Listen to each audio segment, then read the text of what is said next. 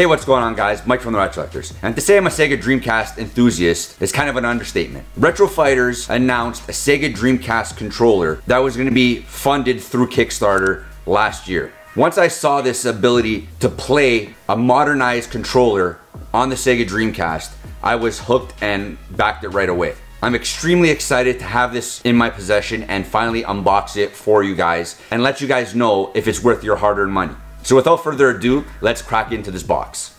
As we crack into this box, we get to see what the actual box looks like. The build quality and feel of the overall box is second to none. Most boxes or from Kickstarter or from any company have a real cheap feel to it. But the Striker DC comes out looking very sharp.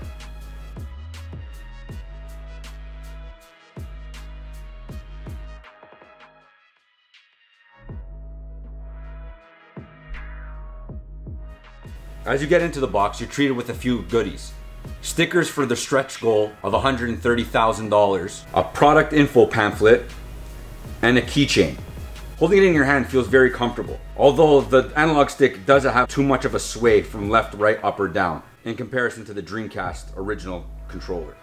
The D-pad is much lower to the face of the controller, so being able to pull off combos should be a little bit easier and not so much strain on the thumb. You're greeted with a turbo and clear button. Although fairly comfortable, there are a few things that I'm not quite a fan of.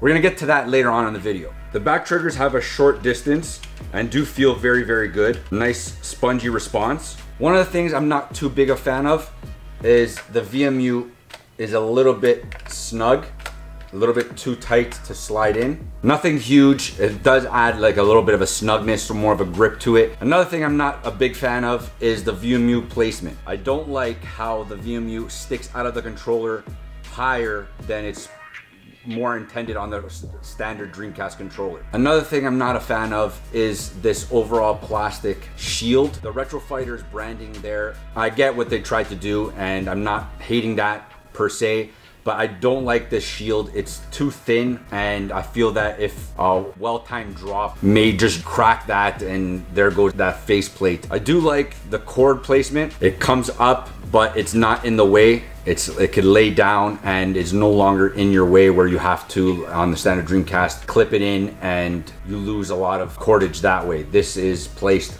perfectly. You lose about maybe two inches, whereas the standard Dreamcast controller, you lose about five or six inches from the bottom of the controller to the top. Playing with the Striker DC does feel very good. Pulling off combos and playing shoot 'em ups, you have no real quarrels as far as button placement or the feel of buttons. Now the key question, is this worth your hard-earned money? If you're a huge Dreamcast fan, then yes.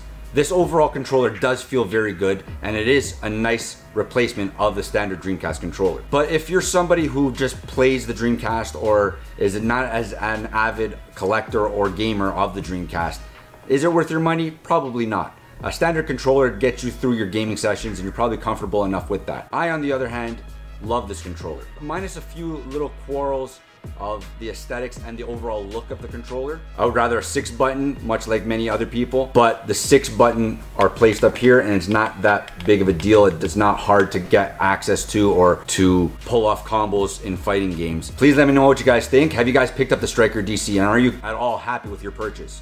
I know I certainly am. And if you did pick it up, what is your number one Dreamcast game that you love playing with this controller? Put it in the comments down below. Let me know what you guys think. Please like, comment, subscribe. Thanks, guys.